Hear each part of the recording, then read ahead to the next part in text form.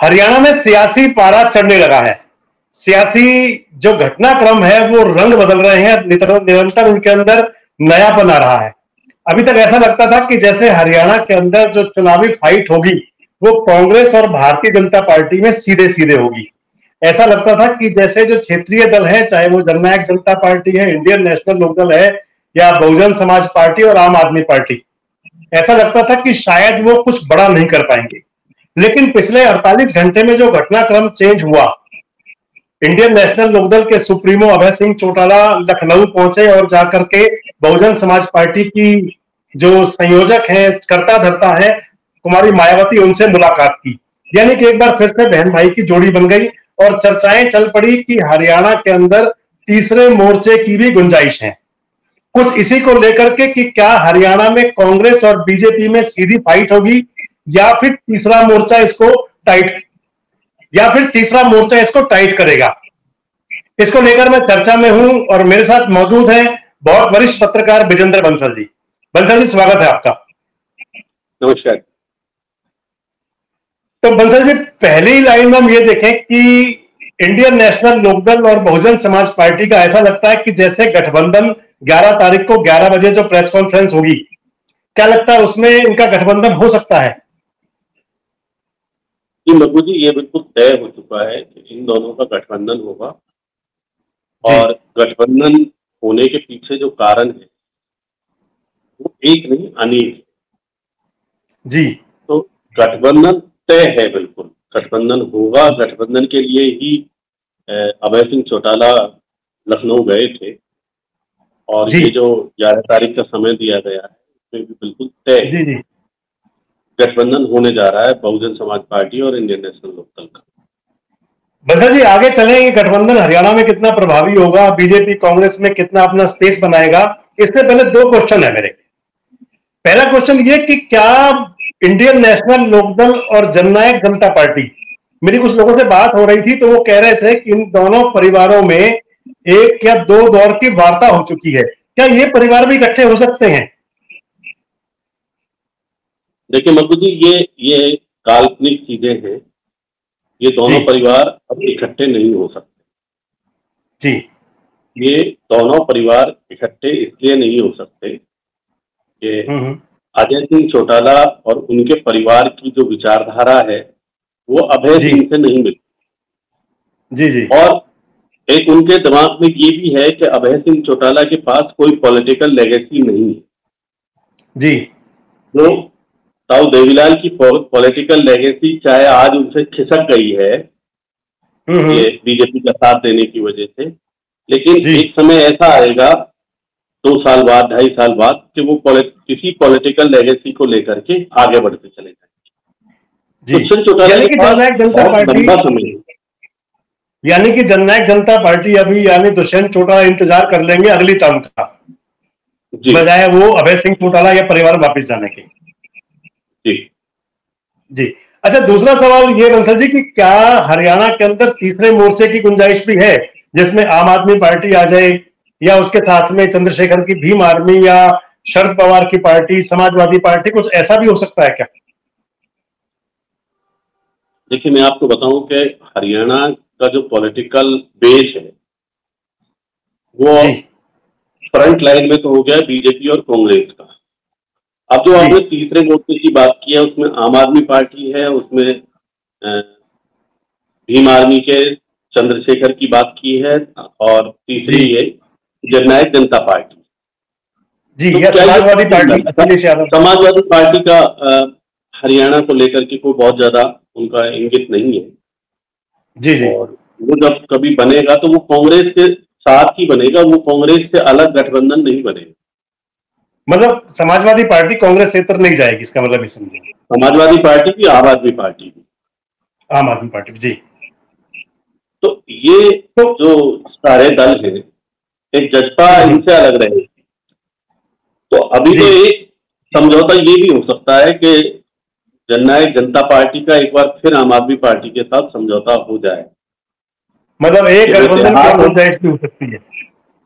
देहात और शहर ये गठबंधन टूटते रहते बसपा का बस इनेलो के साथ टूट गया जजपा का आम आदमी पार्टी के साथ टूट गया फिर बसपा का वो राजकुमार सैनी की एक पार्टी थी लोकतांत्रिक सुरक्षा पार्टी उसके साथ टूट गया। जी। राजनीति में इन संभावनाओं से कोई इनकार कोई परमानेंट दोस्त नहीं है कोई परमानेंट दुश्मन नहीं है। जब मुझे फ़ायदा नज़र आएगा मैं वहाँ चला जाऊँगा। ये राजनीति का सिद्धांत बना रखा है इन लोगों ने।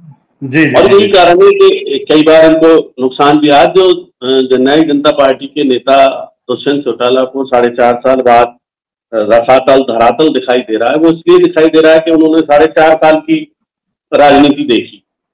अगर वो उस समय भारतीय जनता पार्टी को समर्थन नहीं देते जी। तो ये तो ठीक है कि भारतीय जनता पार्टी किसी छह निर्दलीय के साथ अपनी सरकार चला लेती ये भी हो सकता था। हम्म। एक दुष्यंत चौटाला को उस समय समझौता करने के लिए जो सबसे ज़्यादा आतुरता थी वो ये थी कि भाई ये जो दस एमएलए आए हैं उनमें से तीन ही उसके काडर बेस्ड लोग हैं। बाकी जो सात लोग हैं देवेंद्र बबली राम कुमार गौतम ये या जोगी राम सियाल ये सब बीजेपी कांग्रेस के जो है ना मांगे हुए जी जी। तो कहीं ऐसा ना हो कि बीजेपी सेंटर में भी है बीजेपी स्टेट में भी आ गई तो इन मेरे सात एमएलए को छोड़ के ले जाए। मैं तीन एमएलए के साथ अकेला बैठा रहा हूँ जैसे कुलदीप बिश्नोई बैठ गए थे मियाँ बीबी अकेले। बिल्कुल जैसा दो हज़ार नौ में हुआ। हाँ। तो वो उनका डर था तो उस वजह से उन्होंने उसको सत्ता में क्योंकि सत्ता में जब हम साथ दे रहे हैं तो फिर पूरी तरीके से फिर सत्ता में भागीदारी दें। हम्म, और हम्म, हम्म। भारतीय जनता पार्टी की भी जो उस समय केंद्रीय नेतृत्व था वो ये चाह रहा था कि भाई हम मनोहर लाल को थोड़ा सा बैलेंस करके चलें और ये तो इनके मुँह मांगे हिसाब से इनको सारे डिपार्टमेंट दे दिए इनको सत्ता में भागीदारी दे दी। बिल्कुल बिल्कुल। कई सारे मिनिस्टर मंत्रालय सारे थे इनके पास क्या? अच्छे जो मलाईदार मंत्रालय माने जाते हैं सारे दुष्यंत चौटाला के हाँ, पास थे। बिल्कुल वही इनके पास थे और उसका इन्हें खामियाजा भी भुगतना पड़ रहा है। लेकिन हम्म, हम्म। अब जो परिस्थितियाँ बनी हैं अभय सिंह चौटाला के इस त्रुप के चाल से वो परिस्थितियाँ ये बनी है कि भाई क्या इनका जो गठबंधन है वो त्रिकोणीय बनाएगा मुकाबला? जी। ये सबसे बड़ा गठबंधन जो यही नेशनल लोकदल और बीएसपी का गठबंधन। क्या इस मुकाबले को त्रिकोणीय तक ले जाएगा या कुछ सीटों पर मुकाबले तक सीमित रहेगा? तो अभी तक तो जो हम लोग मान करके चल रहे हैं वो ये मान करके चल रहे हैं क्योंकि देखिए बहुजन समाज पार्टी भी अब दलितों की एक छत्र पार्टी नहीं रह गई। नहीं रही बिल्कुल। जो अनुसूचित जाति के लोग हैं वो ये समझ गए हैं कि मायावती उनके साथ खिलवाड़ करती। जी। तो ऐसे इंडियन नेशनल लोकल भी अब जाटों की एक छत्र पार्टी नहीं रह गई। बिल्कुल बिल्कुल। ज़्यादातर जाट भूपेंद्र सिंह हुड्डा पर विश्वास जमाते हैं। फिर इस बार हो सकता है कि दूसरे नंबर पे ये अपना दावा कर रहे हैं अभय सिंह चौटाला की भाई जाट हमारे साथ रहेंगे। लेकिन हम्म, हम्म। ये त्रिकोणीय मुकाबला बनाने की ये गठबंधन की त्रिकोणीय मुकाबला बनाने की स्थिति में मैं ऐसा अभी आज की तारीख में नहीं कह सकता। जी। इससे सिर्फ़ एक ही काम होगा कि भारतीय जनता पार्टी में भी और कांग्रेस में भी। कुछ ऐसे कैंडिडेट हैं। जिनको टिकट नहीं मिलेगी। हम्म। जिनका टिकट कट जाएगा। हाँ। मान लीजिए मैं एक सीधी सीधी सी बात करूँ आपसे फरीदाबाद विधानसभा सीट जी। या पृथला विधानसभा सीट की फरीदाबाद में पृथला विधानसभा सीट की पिछला विधानसभा सीट में बीजेपी के कैंडिडेट के रूप में नैनपाल रावत भी है टेकचंद शर्मा भी है विनोद भाटी भी है। जी जी। इन तीनों में से किसी एक को टिकट नहीं मिला। हम्म। किसी तो एक लिए प्लेटफॉर्म प्लेटफॉर्म उसके लिए तैयार हो जाएगा पहले ही वही यहाँ जा सकते तो उनके लिए इनेलो और बसपा का गठबंधन टेकचंद के लिए तैयार है कि भी जाट भी मिलेंगे दलित भी मिलेंगे और मैं पहले रह भी चुका हूँ बसपा से और मैं खुद ब्राह्मण। जी। जनता पार्टी अगर टिकट ना दे तो वो वहाँ चले जाए। नैनपाल को भी टिकट ना मिले तो सकता है नैनपाल ने चुनाव लड़ना वो देख ले वो मतलब एक मंच तैयार हो गया उन लोगों के लिए। तैयार हो गया तो बीजेपी भी यही चाहती थी कि एक ऐसा मंच तैयार हो जाए जो हमें कम नुकसान पहुँचाए और कांग्रेस को ज़्यादा नुकसान पहुँचाए।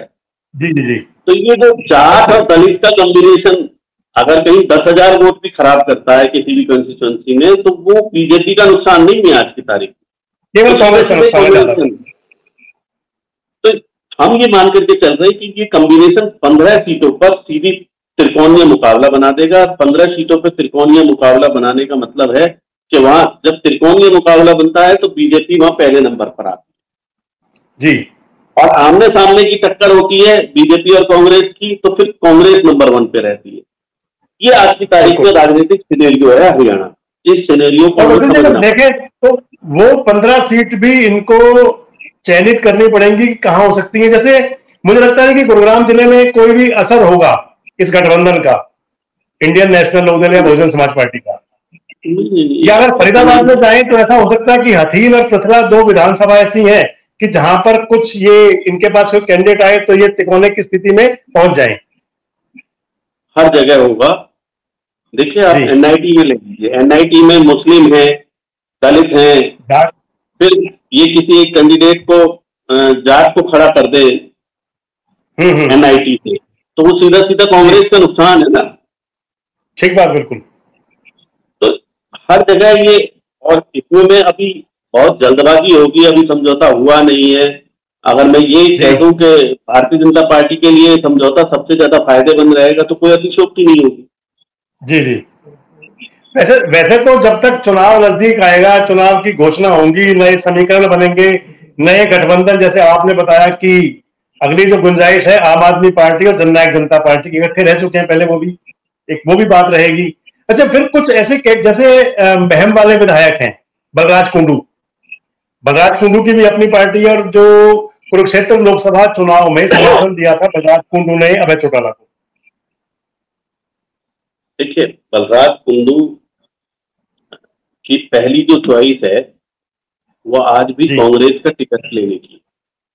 हम्म। बलराज कुंडू ये कह रहे हैं राजनीतिक गलियारों में आकर के कि मैं अब की बार 40 सीटों पर कैंडिडेट खड़े करूँगा। जी। और मेरे मेरे कैंडिडेट कांग्रेस को नुकसान करेंगे। हम्म, हम्म। तो वो मांग क्या रहे हैं? वो मांग यही रहे कि मुझे मैन से चुनाव लड़ा दो। और मांड वाली होती है जैसे मांड वाली होती है कि कोई बीच का रास्ता निकालने कोई समझौता हो जाए तो मेरी भी बनी रहे तुम्हारी भी बनी अभी तो आप देखना। जी। जैसे आप लोकसभा चुनाव में देख रहे थे कि लास्ट समय तक भूपेंद्र सिंह हुड्डा ये कह रहे थे भाई हम दस की दस सीटों पर चुनाव लड़ेंगे। हमारा किसी से कोई समझौता नहीं हरियाणा में किसी को किसी के साथ कोई समझौता नहीं करना। लेकिन जब यूपीए तय करेगी ना टिकट तो हुड्डा तय नहीं करेंगे कांग्रेस समय आम आदमी पार्टी से मेरा ये दावा है कि आम आदमी पार्टी से कांग्रेस का फिर समझौता हो विधानसभा हरियाणा विधानसभा के चाहे वो दस सीटों पर ही हो। नहीं जैसे राहुल गांधी भी कह चुके हैं उसके लिए तो या आम आदमी पार्टी के नेता भी कांग्रेस के नेता भी कि भाई दिल्ली और हरियाणा में विधानसभा स्तर पर कोई गठबंधन नहीं। तो ये क्या सोच है बंसल साहब जिसमें कह रहे हैं कि गठबंधन हो सकता है? देखिए राहुल गांधी ने तो मुझे कहीं याद नहीं आता कि उन्होंने ऐसी बात कही हो लेकिन और जितने भी नेता हैं उन सबने ये बात कही है। और यहाँ तक कि सुशील गुप्ता ने दिल्ली में एक मीटिंग करके अपनी आम आदमी पार्टी की में उन्होंने भी कहा कि हम नब्बे के नब्बे सीटों पर चुनाव लड़ेंगे। तो जो सरकार बनाने वाले लोग हैं उनमें भूपेंद्र हुड्डा है उनमें राहुल गांधी है उनमें मल्लिकार्जुन है उनमें दीपक बावरिया। जब ये लोग बैठेंगे तो ये एक गणित लगाएँगे कि अगर आम आदमी पार्टी सब जगह अपना कैंडिडेट उतारेगी और दस हम्म। दस हज़ार वोट भी लेगी या पाँच पाँच हज़ार वोट भी लेगी या सोशल मीडिया के माध्यम से माहौल खराब कर दिया तो वो माहौल किसका खराब होना? वो कांग्रेस का खराब होना है। बिल्कुल। चाहे वो गाली भाई गाली देंगे चुनाव के दौरान तो बीजेपी को भी उतना ही देंगे तो कांग्रेस को भी उतना ही देंगे। तो वो माहौल खराब ना करने की बजाय ये चाहे पाँच सीट पे समझौता कर जाए कर देंगे कुरुक्षेत्र। भाई नौ विधानसभा सीट की एक कुरुक्षेत्र लोकसभा सीट आती है। तो जब हाँ तो कुछ ऐसी सीटें हैं शहरी सीट जहाँ कांग्रेस को ये लगता है कि भाई हम नहीं जीत पाएँगे। जैसे फरीदाबाद ओल्ड फरीदाबाद की सीट है शहरी सीट। आम आदमी पार्टी क्या करेगी कि वहाँ से एक पंजाबी को टिकट दे देगी? जी। और कह देगी कि भाई लखन सिंगला आप जो है ना अगली बार चुनाव लड़ना हमने दो बार तो आपको चुनाव टिकट दे दिया। हाँ, हाँ। और यह आम आदमी पार्टी का है। और अगर आम आदमी पार्टी ने किसी नए पंजाबी को टिकट दे दी कांग्रेस उसका समर्थन कर रही है तो हम्म। बहुत सशक्त कैंडिडेट हो जाएगा। उस, उसके सामने नरेंद्र गुप्ता जैसे बीजेपी के कैंडिडेट तो टिक भी नहीं पाएँगे। जी। उनके लिए फिर लाना पड़ेगा विपुल गोयल जैसे मज़बूत कैंडिडेट जी बिल्कुल बिल्कुल बिल्कुल। जी। तो ये ये स्थिति बन सकती है, यानी कि एक गठबंधन ये मान के चला जाए कि जैसे जैसे ये चुनाव अब नज़दीक आएगा, अभी तो एक पहला ही गठबंधन सामने आ रहा है, अगर 11 तारीख को वो बैठक हो रही है और 11 को गठबंधन तय हो रहा है इंडियन नेशनल लोकदल और बीएसपी का तो मान के चला जाए कि अभी जैसे जैसे चुनाव नज़दीक आएगा, वैसे वैसे घटनाक्रम और चेंज होंगे बड़ी तेज़ी से। एक संभावना ये भी है कि जेजेपी और आम आदमी पार्टी का गठबंधन हो जाए। दूसरी संभावना यह भी है कि इंडिया गठबंधन के अंदर आम आदमी पार्टी और कांग्रेस एक बार फिर से वापस दिखाई दें। तीसरी संभावना यह कि और जो क्षेत्रीय दल हैं या जो लोकल घट जो लोग हैं या जो छत्रप हैं उनको इकट्ठा लामबंद किया जाए उसके लिए कौन नेतृत्व करेगी? बहुत सारी बातें हैं। अब चुनाव में बहुत चीज़ें बदलेंगी। देखिए पिछली बार दो बार में प्रधानमंत्री नरेंद्र मोदी ने एक मापदंड तय किया था कि हम पिछहत्तर साल से ऊपर की एज ग्रुप के व्यक्ति को टिकट नहीं लेंगे। इस बार इन्होंने हिसार से रंजीत चौटाला को टिकट दे दिया। जी। कई ऐसी जगह है जहाँ से टिकट दे दिया। फिर इन्होंने कहा परिवारवाद वाली बात पर अंकुश लगा के रखेंगे तो वो यूपी में टैनी के बेटे को टिकट दे दिया। बिल्कुल। है? और बिल्कुल। टैनी के बेटे तो इस बार भी ये विधानसभा चुनाव में कृष्णपाल गुजर से भी कह सकते हैं तुम अपने बेटे की टिकट पकड़ो ये यहाँ से और ये हमें नौ सीटों की गारंटी को बनाओ। राविंदर जीत को कह देंगे पूरे अहिरवाल को जिताओ आरती राव के लिए हम रेवाड़ी से टिकट दे रहे हैं। जी। मोहित का टिकट तुम भी दे दो। हाँ अपने बेटे को लड़ाओ या रमेश कौशिक को भी टिकट दे देंगे कि भाई लड़ाओ भाई कौशिक हाँ, को भी दे सकते हैं। जी जी जी। गन्नौर से लड़ा ले राई से नला लड़ा ले गोहाना से लड़ा ले अपने एक आदमी लड़ा ले। और रमेश कौशिक पहले भी अपने बेटे की पैरवी कर रहे थे कई दिन बीच में कि उनके बेटे को एडजस्ट कर लिया जाए।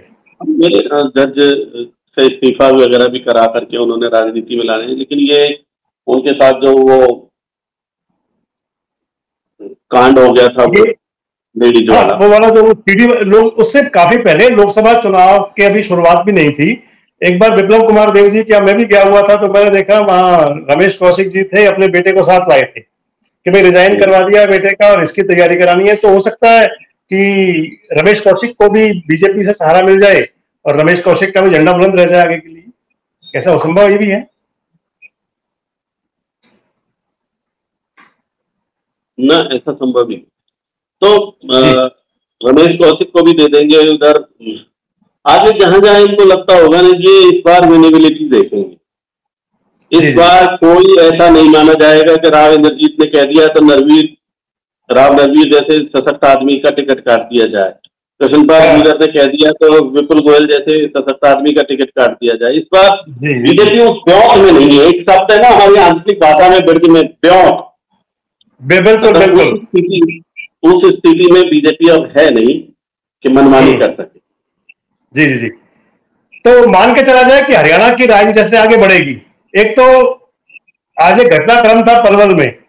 मैं बीच में इस बात को जोड़ रहा हूँ कि जो सरकार के मंत्री या सरकार के नेता हैं, उनके लिए भी एक बड़ा चैलेंज है कि अपने आप को कैसे प्रूव करें। आज वो शिकायत गई एक बनवारी लाल जी के सामने, एक डीटीपी की डिस्ट्रिक्ट टाउन प्लानर की। और उन्होंने पहला सुनते ही कुछ देखा नहीं क्या है, क्या नहीं है, और डीटीपी को सस्पेंड कर दिया। इससे पहले कमल गुप्ता जी की इनकी मीटिंग थी, उसके अंदर उन्होंने दो लोग सस्पेंड कर दिए। राम अभय सिंह की मीटिंग थी तो उन्होंने एक आदमी को सस्पेंड किया। मतलब ये वाला एक नया ट्रेंड है और ये मुझे लगता है कि ये जो बीजेपी के नेता हैं, मंत्री हैं, या जो विधायक हैं, इनको ये दिखाने के लिए कि हम पूरी तरह एक्टिव थे और हम पूरी तरह एक्शन में रहे हमेशा, और ताकि आगे उन पर कोई खतरा ना बने। मकबूल जी आप ठीक कह रहे हो बच्चे पलवल वाली घटना के बारे में तो मुझे किसी ने ये भी जानकारी दी है कि वो डीटीपी जो सस्पेंड किया है वो इतना गलत किया है कि उसे पूरे जो टाउन कंट्री प्लानिंग में डिपार्टमेंट में माना जाता है उसे सबसे हम्म। ईमानदार अधिकारी के रूप में माना जाता है अच्छा अधिकारी माना जाता है हाँ। वो कुछ कॉलोनाइजर्स को रोक रहा था कुछ इलीगल कॉलोनीज काटने के लिए रोक रहा था तो उसकी शिकायत की और मंत्री को भरा गया और हम्म। मंत्री ने भी सोचा कि यार मैं एक ग्रीवेंस कमेटी में ये जो है चमत्कार का दिखा दूँगा इससे पब्लिक सेम्पैथी मिलेगी मीडिया कवरेज मिलेगी। और हालाँकि इन सब चीज़ों का ना बहुत दुखदायी असर होता है। जैसे एक बच्चा अगर पूरे साल तो पढ़े नहीं और हम्म। एक रात में पूरी किताब को पढ़े और पूरी रात जग रत जगा कर करके पूरी किताब को पढ़े तो जब पेपर तो उसके पास आता है तब उसकी आँख लग जाती है। हाँ, हाँ। खाली पेपर छोड़ के आ जाता है। यही बीजेपी वालों के साथ हाल होता हुआ दिखाई दे रहा है। बिल्कुल बिल्कुल। मतलब बीजेपी वालों के लिए अपने चैलेंज अलग कांग्रेस वालों के लिए अपने चैलेंज अलग जो उनके अंदर अंदर चल रहा है सब कुछ। और अब तीसरा चैलेंज ये कि जो नए नए मोर्चे या जो नए नए गठबंधन बनेंगे ये कितना असर करेंगे इस पर नज़र रहेगी पूरी। पूरी तरीके से नज़र रहेगी। इस समय बीजेपी के सामने बहुत बड़ी चुनौती है एक मैं कहावत को जरा थोड़ा सा मॉडिफाई करके कह रहा हूँ कि बीजेपी इस समय अपना हाथ रखते हम्म। तय पर भी रखते। हैं। तो भी कोई ये विश्वास नहीं करेगा कि इनका हाथ जल रहा जी जी जी। इनके साथ सिंपेथी करना बड़ा मुश्किल है बीजेपी के लिए बहुत मुश्किल है। हाँ चमत्कार करने का अवसर है। चमत्कार कर सकते हैं चमत्कार करेंगे तो कुछ ना कुछ पाएँगे। अभी चमत्कार इन्होंने कुछ नहीं किया है। ना तो चेहरा बदल के चमत्कार किया है न मुख्यमंत्री नए मुख्यमंत्री का कोई चमत्कार है। हम्म, हम्म। और जो ये यू टर्न वाली पोजीशन आ रही है कि भाई हमने प्रॉपर्टी आईडी में सरलीकरण कर दिया परिवार पहचान पत्र में सरलीकरण कर दिया पंचायत सरपंचों को इक्कीस लाख रुपए तक का टेंडर का निजीकरण दे दिया हमने।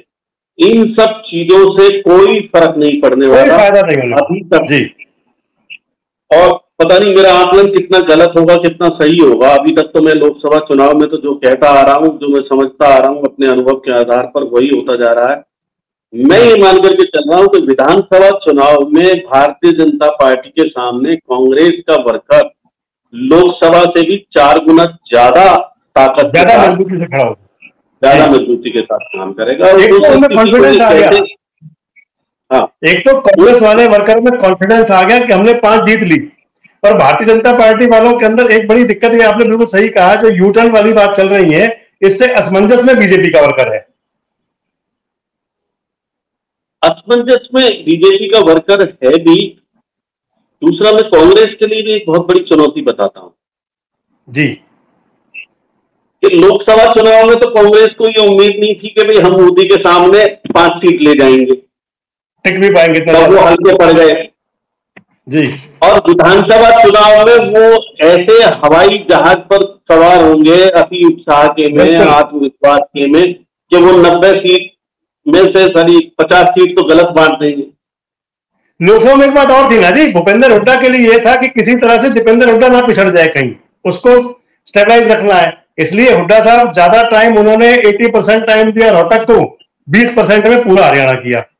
कुमारी शैलजा को यह था कि मेरी सीट दिक्कत ना हो जाए वो पूरा टाइम वहीं लगी रही अपना हिली भी नहीं वहाँ से। कांग्रेस ने सिर्फ़ दो सीटों पर फोकस किया शैलजा ने किया अपनी सिरसा पे रणदीप सुरजेवाला ने किया सिरसा पे वीरेंद्र सिंह ने फोकस किया सिरसा पे। ये हम्म। और भूपेंद्र हुड्डा ने केवल और केवल रोहतक पे फोकस किया। हम्म। इन दो सीटों पे फोकस करने से टीम तो ये अपने आप लुभाव में आ गई। अगर ये बिल्कुल बिल्कुल टीम की अपनी मेहनत हुई उनके साथ जो भी रहा कांग्रेस का हुआ एंटी बीजेपी बेग हुई वो सब मिल करके वो तीन सीट आई। मधु जी मैं आज कहता हूँ। जी। अगर करण सिंह दलाल को फरीदाबाद लोकसभा सीट से टिकट मिलता जी। तो ये महेंद्र प्रताप से चालीस परसेंट ज़्यादा मज़बूत कैंडिडेट होता करण सिंह हम्म। दलाल। जी जी। करण सिंह दलाल पलवल ज़िले से ही दो लाख वोटों का गैप दे करके जाते।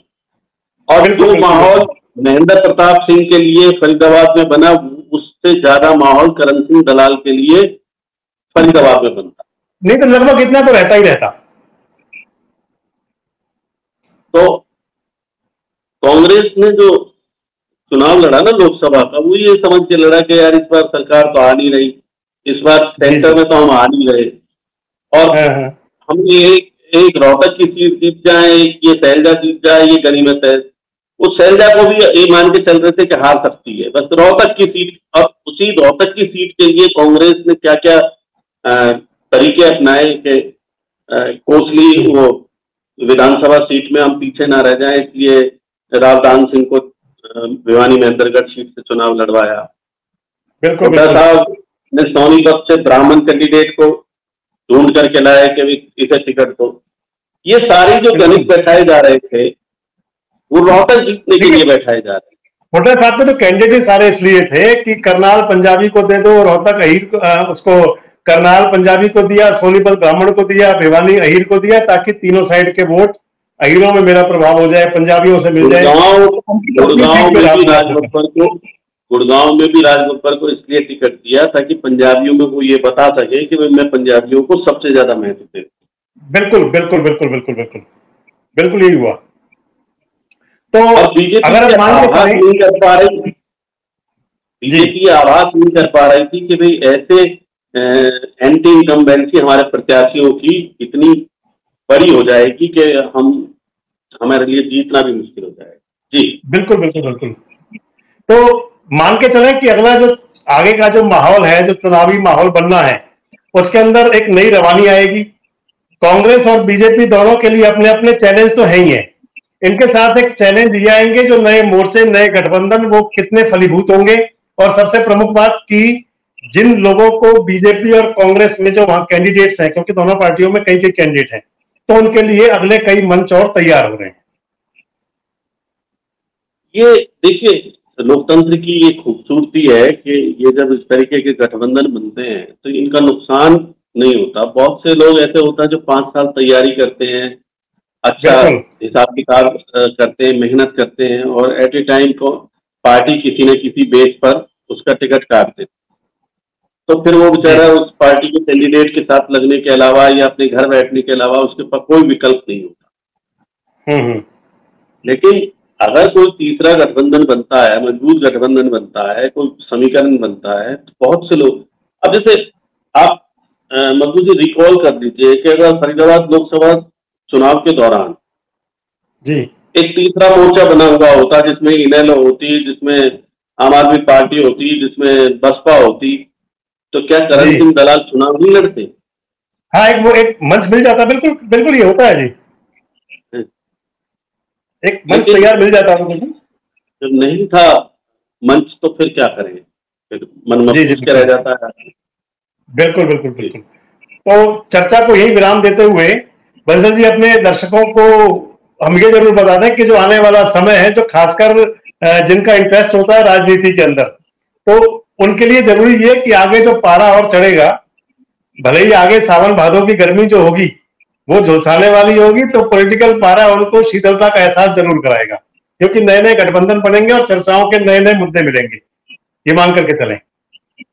देखिए ये जो मौसम है इस मौसम में आप एयर कंडीशन में बैठे हैं तो आपको ठंडक का एहसास होता है। जी। लेकिन अगर आप ये जो सावन के महीने में बाहर निकलते हैं ना तो थोड़ी सी घुमेरी भी लगती है। बिल्कुल बिल्कुल बिल्कुल। तो राजनीति में ना अभी घुमेरी चल रही है। घुमेरी चलेंगी जी। घुमेरी चल रही है लेकिन जब दो तीन बारिश हो जाएँगी जब मौसम पूरा ठंडा हो जाएगा तो ये इतने इतना सुहाना मौसम होगा इस बार। शीतलता का एहसास शीतलता का एहसास कराएगा। हाँ, चुनाव में मज़ा कमल जी अपने दर्शकों को इजाज़त लेते हैं और उनको इसी उम्मीद के साथ कि अगले दिनों में भी हरियाणा के राजनीतिक घटनाक्रम पर इसी प्रकार से हम चर्चा करते रहेंगे और उनके साथ जुड़ते रहेंगे। आपका बहुत बहुत धन्यवाद। हमारे साथ जुड़े रहने के लिए देखते रहिए देश रोज़ाना का यूट्यूब चैनल सब्सक्राइब कीजिए। साथ ही देश रोज़ाना की खबरें सबसे पहले देखने के लिए प्रेस कीजिए बेल आइकन